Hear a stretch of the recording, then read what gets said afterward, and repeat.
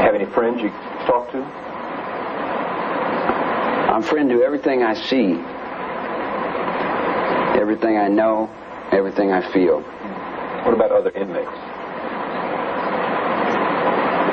I'm brother in these hallways for 40 years